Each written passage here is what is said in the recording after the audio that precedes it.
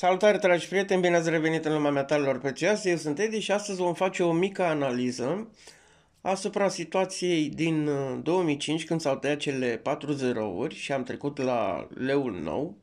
Lucru pe care eu cred că ne vom îndrepta către tăierea a două zerouri, adică 100 de lei va deveni un leu. Eu cel puțin asta cred.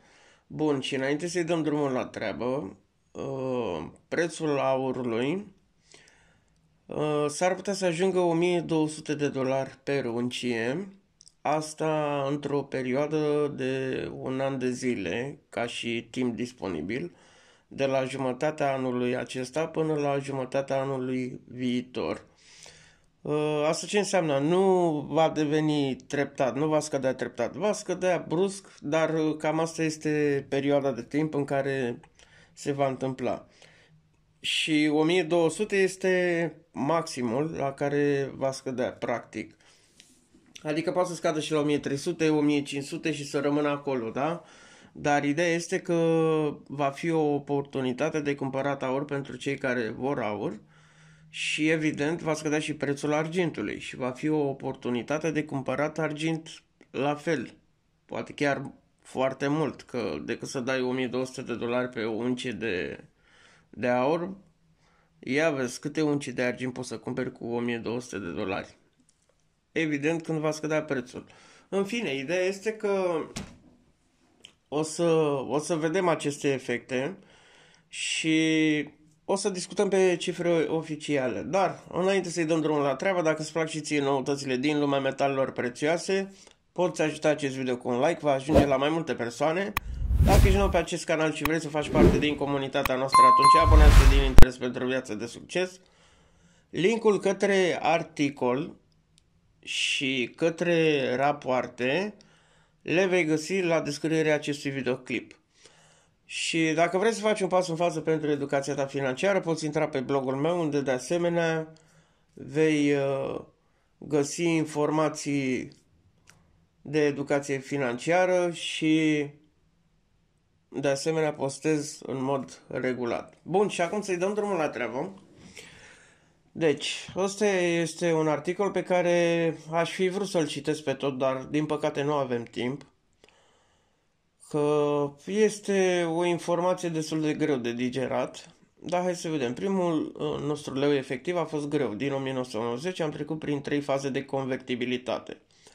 Bun. Ideea este că rușii au făcut uh, același lucru și hai să vedem.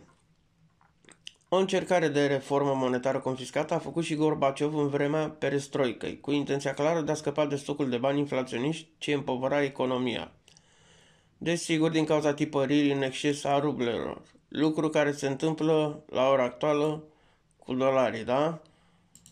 A greșit însă de două ori, mai întâi pentru că n-a găsit soluția pentru ca efectele reformei și să fie resimțite în mod egal de întreaga populație și apoi pentru că n-a însoțit intervenția chirurgicală de măsuri care să evite complicațiile postoperatorii și să ajute la întărirea organismului economic ex- extrem de slăbit. Bun, deci afectează întreaga populație, unul la mână. Doi la mână, fii atent ce au făcut uh, bogătași și pe căi ilegale. Intenția a fost să fie loviți cei ce se îmbogățiseră pe căi ilicite. Asta e o vrăjeală pentru public, da? În, o vrăjeală pentru publicul rus. Ceea ce au spus ei că din cauza asta fac chestia asta în sensul că nimeni nu putea să schimbe mai mult de 1000 de ruble, dacă nu dovedea proveniența banilor. Dar tocmai îmbogățiții pe căi ilegale au parat lovitura. Ei anticipaseră că rubla avea să ajungă pe masa de operații și și-au investit banii în proprietăți, în dolari și mai ales în aur. Da? Deci în aur. Și ar mai fi un punct de vedere aici. Ia să vedem. A, uite aici. Acestea așa zise reforme, cea din Rusia și cu deosebire cele de la noi din 1947 și 1952, care au pretins ca sigură stabilizare monetară, deși în realitate au confiscat banii, da? Au produs îngrijorare chiar teamă în cursul pregătirii denominării. Deci, ei în principiu confiscă bani. Asta se întâmplă când a tăiat cele patru zerouri, au confiscat bani. Bun. Și hai să vedem la noi.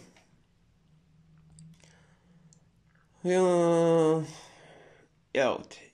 1 ianuarie 2005, salariu minim pe economie, da? 3 milioane 100 de lei. Și în iulie era 310 lei. Deci au tăiat 4 zerouri, da? Asta este important. 4 zerouri au, au tăiat. Ține cont de astea 4 zerouri că eu am rămas așa undeva, mie îmi dă cu virgulă. Bun, și acum hai să vedem declarațiile BNR.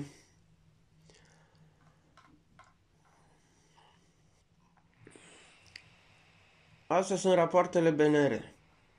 Ia stai așa.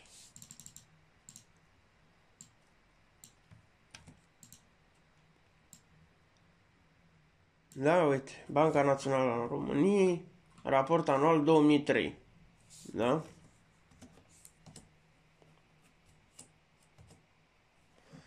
Bun.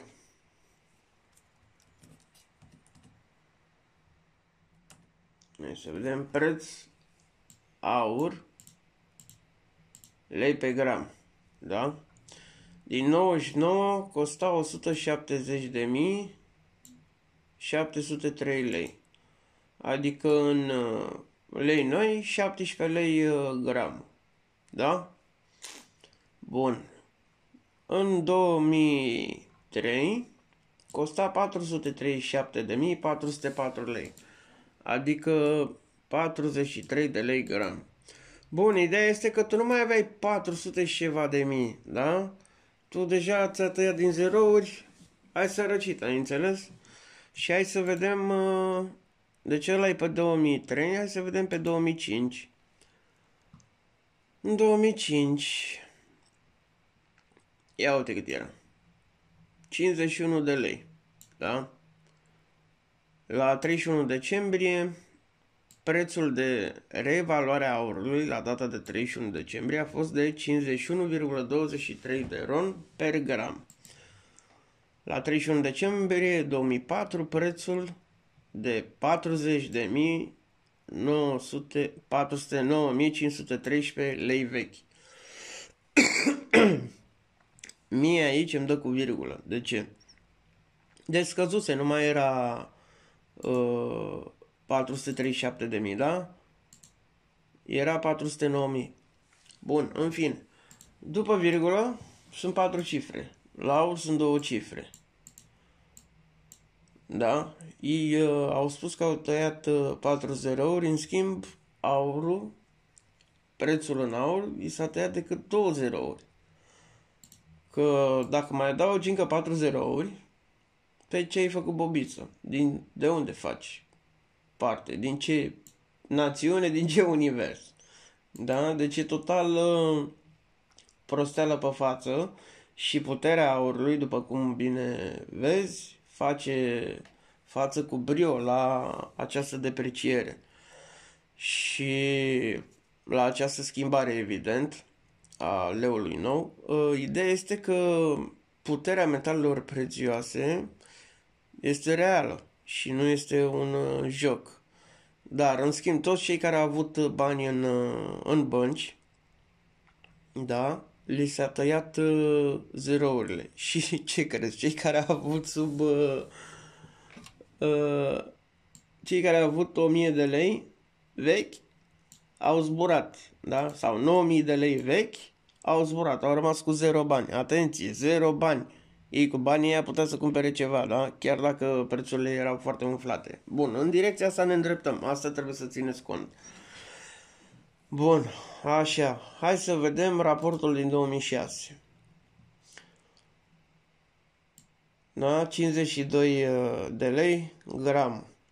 Deci aurul s-a menținut. Da, și uite, la 31 decembrie 2005 prețul de 51,23 de lei per gram pentru stocul deținut de bancă. Bun, prețul de reevaluare a aurului la data de 31 decembrie 2006 a fost în fine, prețul de reevaluare a aurului se pare că reevaluarea aurului se face în fiecare an la sfârșitul anului la noi. Și hai să vedem.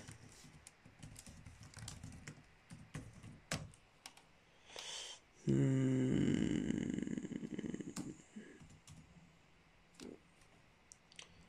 Ia să vedem. De la data de 31 decembrie 2002 a fost schimbată metodologia de reevaluare în relația cu Fondul Monetar Internațional la, la recomandarea firmei de audit extern KPMG. Astfel, drepturile speciale de tragere se reevaluează la cursurile comunicate de Fondul Monetar Internațional ca fiind valabile la 30 aprilie și 31 decembrie. Toate diferențele rezultate din reevaluarea aurului, a drepturilor speciale de tragere și a activelor și pasivelor în valută se înregistrează în contul de diferențe de reevaluare, care la închiderea exercițiului majorează sau diminuează contul special de reevaluare. Bun, și hai să vedem uh, 2005 ce spune despre reevaluare.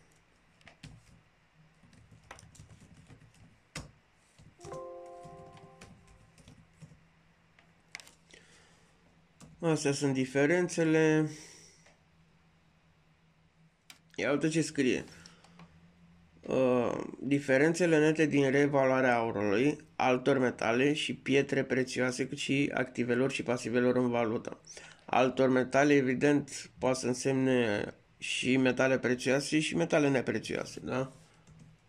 Bun. Ia uite. Reevaluarea la valoarea de piață se efectuează lunar pentru deținerile de aur, argint la standarde internaționale și titlurile denominate în valută. Deci lunar, nu la sfârșit de an. La sfârșit de an se publică ăsta. De fapt, la sfârșit de an se face raportul și se publică în anul, în anul următor. Dar reevaluarea la valoarea de piață se efectuează lunar, la valoarea de piață. Da? Și reevaluarea de care vom avea noi parte, la fel se va face la valoarea de piață. Dacă piața a crescut substanțial, evident și aurul o să crească ca și preț și argintul. Uh, ideea este că când se va face reevaluarea metalelor prețioase, când vom trece la moneda digitală, de asemenea se vor tăia, cred că 1 sau 2 zerouri, poate chiar 3. Dar puterea metalelor prețioase rămâne în vigoare. Da, hai să vedem uh, 2006. 31 decembrie, prețul de reevaluare a aurului a fost de 52 de lei. Deci s-a menținut. Asta S-a menținut la, la prețul nou.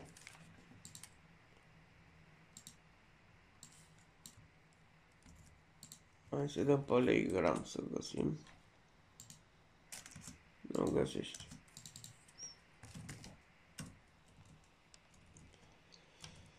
Hmm.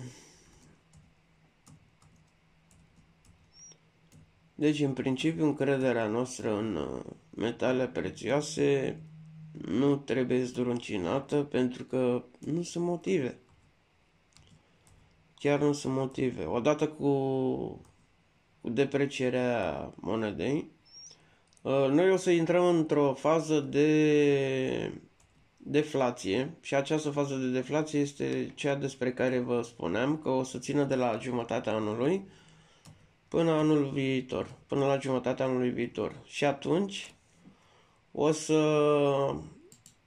o să scadă prețurile și atunci e de cumpărat masiv. Atunci trebuie să cumperi masiv. Cât poți să dai seama, dar când se va trece la la moneda digitală, la fel se va tăia zerouri. Și cei care au în bancă, da, cum s-a întâmplat cu, cu ăștia, cei care aveau 9000 de lei în bancă, lei vechi, au zburat. Nu le-a mai dat nimic. Nimic, nimic. Da? Și în schimb, dacă ai aur și argint, poc, ți-l păstrezi. Da? Îți păstrezi valoarea. Asta e șmecheria. Bun, 2006 am zis, da? Deci, ia uite, de la 51.23 la 52.49. Da, ia uite, 65,43 a crescut în 2007. Deci, după ce crește valoarea la noua monedă, oricare ar fi ea, că e digitală, că e nedigitală, că e leu nou, că e, nu știu, euro nou, ce monedă vrei tu să fie, sau ce să ne dea ăștia, din uh, care vor să facă chestia asta, aurul își, își păstrează valoarea și argintul și după ce își păstrează valoarea, intră în etapa de creștere. Da, o să crească la preț.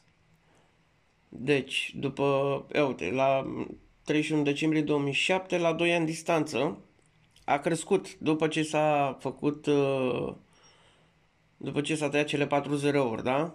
A crescut. Deci, ăștia de asta zic că tot am văzut mulți specialiști, domne, va crește aurul pe steroizi, va fi exponențial, va fi creșteri masive, va fi...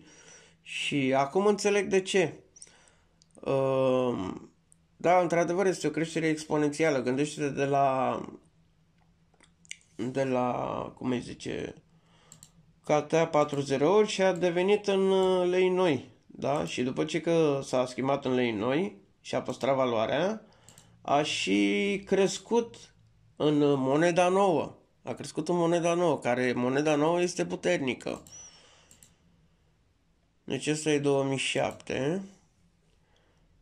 Și asta este important. Dar v-am zis, mie îmi dă cu virgulă. Dacă voi aveți uh, idei despre ce se întâmplă aici, asta e din 2003.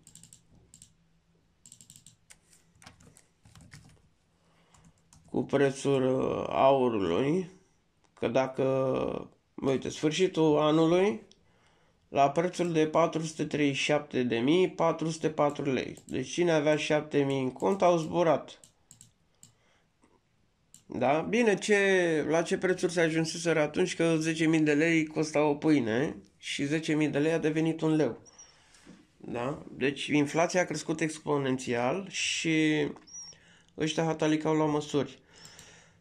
Da? Au tăiat cele 4 zerouri, lucru care se va întâmpla și, și în uh, următorii ani, nu știu când să zic, cred că până în 2025 cu trecerea la moneda digitală.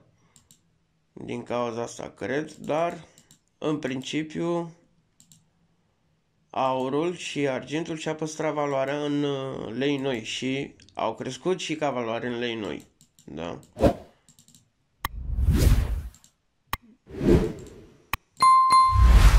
Ce ai văzut cât a crescut? Din 99 Ia uite, de la 170 de mii, adică de la 17 lei din 99 până în 2003 uh, la 437. De la 170. Deci peste dublu. Bine, asta e când era inflație și asta se va întâmpla și la, și la noi cu aurul, mă gândesc dacă va, va intra inflația în efect pentru metale prețioase și la fel cred că o să crească exponențial și după ce o să crească exponențial o să taie ăștia zerouri. Banc. Și după ce o să taie zerouri, da, rămâi la 43 de lei, după ce au tăiat cele 4 zerouri. Și o să crească în mod natural. Uite, scăzuse, dar este moneda nou, leul nou, nu mai este leul vechi. Și ia uite-l, hap, a crescut și cu leul și cu leul nou. Da, asta e important. Astea două etape o să fie importante de reținut. Bun, deci cam asta a fost pentru azi, dragi prieteni, dar în principiu v-am zis, mie tot îmi dă cu virgulă aici, 51-23 și dacă mai adaugi încă 4 zerouri, pe cei cu bobiță. Da? Ei de fapt au tăiat 4 zerouri și dacă adaugi 4 zerouri sunt 230 de mii aici. Da? 100 1 miliard 230 de mii. Un miliard, pardon, un milion. Și asta ar veni 51 de milioane 230 de mii lei vechi. dacă adaugi. Da? În schimb aici, uite, prețul, ei spun că e în ron, dar e prețul vechi, pentru că sunt 6 cifre, dintre care 4 le-au tăiat. Dar în fine, ideea este, na, v-am zis, asta este important. În principiu că aurul își păstrează valoarea, argintul de asemenea își păstrează valoarea și după ce trecem la noua monedă, cea puternică, va crește, deci ăsta este istoricul, că a crescut în 2 uh, ani de la, după ce s-a trecut la moneda nouă. Acum o să vedem și la noi uh, ce se va întâmpla, în cât timp va crește, dar oricum va crește și în moneda nouă. Da? Adică își păstrează valoare, pur și simplu. Bun, cam asta a fost pentru azi, dragi prieteni. Abonați-vă din interes pentru o viață de succes. Vă pup și aveți grijă de voi.